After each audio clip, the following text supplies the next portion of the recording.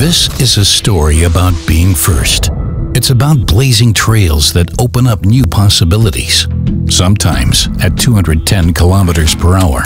It's about reaching the top, only to keep pushing the limits. It's about being as fast as a race car driver, but a lot more comfortable. It's about experience, analysis, learning curves. It's not about traffic jams. It's about solutions for everyday driving.